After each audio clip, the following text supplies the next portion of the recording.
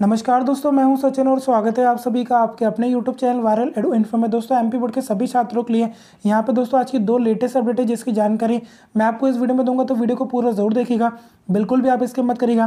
दोस्तों, पहली न्यूज़ तो यहाँ पे आप देखिए, जो शिक्षक कांग्रेस है, उन्होंने दोस्तों यहाँ पे मांग की कि जो आपकी पहली क्लास से लेकर आठवीं क्लास तक के जो स्कूल हैं, इनको दोस्तों यहाँ पे बंद कर दिया जाए। यानी कि दोस्तों, जो आपकी ऑफलाइन क्लासेस लग रही हैं, उनको यहाँ पे बंद कर दिया जाए। और इसके अलावा दोस्तों, जो दूसरी न्यूज़ है, जो आपका सिलेबस है, आप सभी को पता है कि आपका प्राइवेट स्कूल हो, चाहे दोस्तों आपके सरकारी स्कूल हो।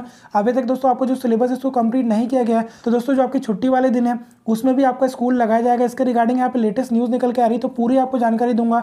वीडियो को पूरा ज़रूर देखिएगा, बिल्कुल भी आप इसके मत करिएगा। और दोस्तों, अगर आप हमारे चैनल पर नए हैं तो अगर आपने अभी तक चैनल को सब्सक्राइब नहीं किया तो सब्सक्राइब ज़रूर कर लेना। साथ में बेल के आइकन को ज़रूर दबाना, ताकि आपको एमपी बोर्ड की सभी अपडेट हमारे चैनल के माध्यम से मिलते रहें। तो सबसे पहले दोस्तों, यहाँ पे पहली न्यूज़ देखी जो कि आज ही की लेटेस्ट अपडेट है।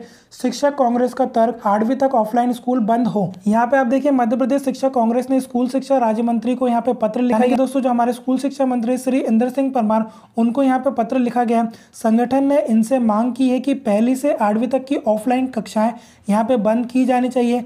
संगठन के प्रदेश अध्यक्ष सुभाष सक्सेना एवं कार्यकारी अध्यक्ष सतीश शर्मा ने बताया कि कोरोना के नए वेरिएंट के संक्रमण का खतरा बढ़ रहा है। कोविड नाइन्टीन संबंधित केस यहाँ पे बढ़ते जा रहे हैं। आप सभी को पता है कि दोस्तों, पिछले कुछ दिनों से जो कोरोना के केसेस हैं, वो लगातार यहाँ पे इंक्रीज हो रहे हैं। कुछ स्कूली बच्चों के भी संक्रमित होने के मामले यहाँ पे सामने आए छोटे बच्चों की सेहत को ध्यान में रखते हुए प्राइमरी और मिडिल स्कूल बंद कर देना चाहिए। वैसे भी ज़्यादातर अभिभावक पहली से आठवीं कक्षा तक के बच्चों को स्कूल नहीं भेज रहे हैं। अभी हमें कोरोना की तीसरी लहर को देखते हुए व्यवस्था बनाने की ज़रूरत है। यानी क्या इंग्लिश बोलने से लगता है आपको डर? तो डरना बंद करें और डाउट नेट के इंग्लिश स्पीकिंग कोर्स के साथ आज ही जुड़ जाए, जहाँ इंग्लिश के टॉप एक्सपर्ट सिखाएँगे आपको इंग्लिश बोलना, वो भी हिंदी भाषा के साथ, बिल्कुल बेसिक से।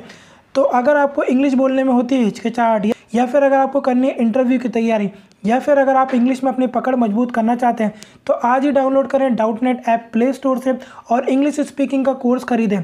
और अपने इंग्लिश बोलने के सपने को यहाँ पे सर्च कर यानी कि दोस्तों यहाँ पे प्रदेश शिक्षक कांग्रेस के द्वारा यहाँ पे जो हमारे शिक्षा मंत्री उनसे मांग की गई कि जो पहली क्लास से लेकर आठवीं क्लास तक के जो स्कूल यहाँ पे मध्य प्रदेश सरकार ने ओपन कर दिए हैं। फ़िलहाल दोस्तों उनको यहाँ पे बंद किया जाए, क्योंकि दोस्तों अभी जो कोविड की कंडीशन है, आप सभी ने देखा होगा कि जो कोरोना के केसेस है, वो लगातार यहाँ पे इंक्रीज हो रहा है। इसके दोस्तों यहाँ पे दूसरी न्यूज़ देखें, यहाँ पे आप देख सकते हैं कोर्स पूरा कराने, छुट्टी के दिन भी लगेंगी कक्षाएँ। आप सभी को पता है कि दोस्तों जो आपकी दसवीं और बारहवीं की जो आपकी बोर्ड परीक्षा है, इस बार दोस्तों यहाँ पे एमपी बोर्ड काफ़ी जल्दी आपकी करा रहा है। दोस्तों, जो आपकी दसवीं और बारहवीं की जो आपकी बोर्ड परीक्षा है, वो आपकी सत्रह और अठारह फरवरी दो हज़ार बाईस यहाँ पे स्टार्ट हो जाएगी। और दोस्तों, अभी सरकारी स्कूल की बात करेंगे, चाहे प्राइवेट स्कूल की बात करेंगे, दोस्तों जब भी आपका सिलेबस है वो सही तरीके से और आपका पूरा यहाँ पे कंप्लीट नहीं हुआ है।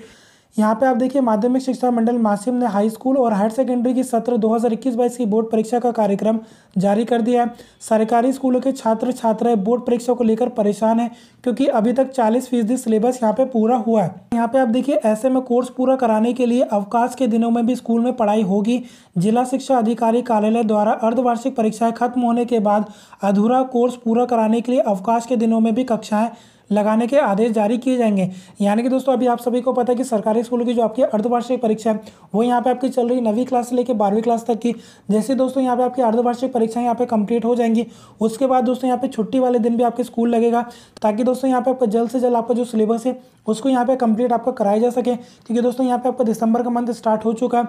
अब आपके पास दोस्तों, दिसंबर और जनवरी सिर्फ़ आपके पास यहाँ पे दो महीने के समय बचा है। क्योंकि दोस्तों, यहाँ पे आपके सत्रह और अठारह फरवरी से आपके एग्ज़ाम स्टार्ट हो जाएँगे।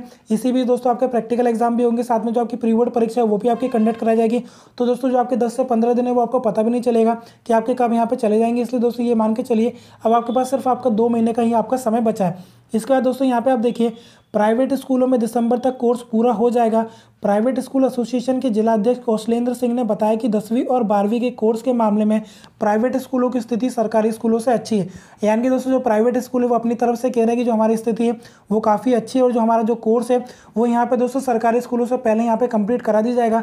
इसका दोस्तों बात करेंगे यहाँ पर जो विकास जोशी, जो कि डी हैं, मध्य प्रदेश बोर्ड के यहाँ पर आप देखिए दसवीं और बारहवीं का अधूरा कोर्स पूरा कराने के लिए सरकारी स्कूलों में अवकाश के दिनों में भी कक्षाएँ लगाई जाएँगी। इस बारे में प्रचार से चर्चा हो चुकी है। अर्धवार्षिक परीक्षा के बाद विशेष कक्षाएँ लगाने के आदेश भी जारी किए जाएँगे। इसके अलावा दोस्तों, मैंने आपको कुछ समय पहले एक एमपी बोर्ड का नोटिस बताया था, जिसमें दोस्तों मैंने आपको जानकारी दी थी कि जो आपकी रेमिडियल क्लासेस है, वो यहाँ पे आपकी नौ दिसंबर से यहाँ पे आपकी स्टार्ट हो जाएँगी। और दोस्तों, इसकी जो डिटेल जानकारी आपको आपके स्कूल के द्वारा यहाँ पे प्रोवाइड करा दी जाएगी। यानी कि दोस्तों, यहाँ पे जो सरकारी स्कूल है, साथ में जो प्राइवेट स्कूल है, सभी यहाँ पे आपका दावा करेंगे जो आपका सिलेबस है, उसको जल्द से जल्द यहाँ पे आपका कंप्लीट करा दिया जाएगा। आप सभी को पता है कि दोस्तों, आपके स्कूल में किस तरीके से आपका जो सिलेबस है, उसको यहाँ पे कंप्लीट कराया जाता है। उम्मीद करता हूँ कि दोस्तों, आपको वीडियो अच्छा लगा होगा। अगर आपको वीडियो अच्छा लगा तो वीडियो को लाइक ज़रूर करना। और दोस्तों एमपी बोर्ड की सभी लेटेस्ट जानकारी देखने के लिए चैनल को सब्सक्राइब ज़रूर करिएगा, साथ में बेल का आइकन को ज़रूर दबाएगा और दोस्तों, अगर आपको किसी प्रकार का यहाँ पे कोई भी डाउट है तो वीडियो को कमेंट बॉक्स में कमेंट ज़रूर करना। फ़िलहाल इसके अलावा दोस्तों, अगर आपको पढ़ाई करते समय किसी प्रकार का यहाँ पे कोई डाउट आ रहा है, यानी कि दोस्तों, अगर आपको कोई क्वेश्चन है जिसका हल नहीं बनता है तो दोस्तों, आप चाहें तो जो एन का जो ऐप है, इसको डाउनलोड कर सकते हैं। इसके लिंक मैं आपको वीडियो के डिस्क्रिप्शन बॉक्स में दे दूँगा। इस ऐप के अंदर दोस्तों, आपको सभी विषय के जो सोल्यूशन है, वो आपको मिल जाएँगे। यानी कि दोस्तों, जो आपके एन की किताब है, सभी विषय की, उसके दोस्तों, सभी क्वेश्चन के आंसर आपको इस ऐप के अंदर मिल जाएँगे। उस ऐप के दोस्तों, जो लिंक है वो मैं आपको वीडियो के डिस्क्रिप्शन बॉक्स में दे रहा हूँ, वहाँ से आप उसको डाउनलोड कर लीजिएगा। इसके अलावा दोस्तों, उस ऐप के अंदर आपको दोस्तों, जो आपका एमपी बोर्ड का नया पैटर्न है, यानी कि दोस्तों, आपके जो एक एक नंबर वाले क्वेश्चन है, वो भी दोस्तों वहाँ पे आपको मिल जाएँगे तो वहाँ से आप इसको डाउनलोड कर लीजिएगा। फ़िलहाल इस वीडियो में इतना ही। अगर आपको वीडियो अच्छा लगा तो वीडियो को लाइक ज़रूर करना। और दोस्तों, अगर आपने अभी तक चैनल को सब्सक्राइब नहीं किया तो सब्सक्राइब ज़रूर करना। साथ में बेल के आइकन को ज़रूर दबाना, ताकि आपको एमपी बोर्ड की सभी अपडेट हमारे चैनल के माध्यम से मिलता रहे। Thank you for watching thank you so much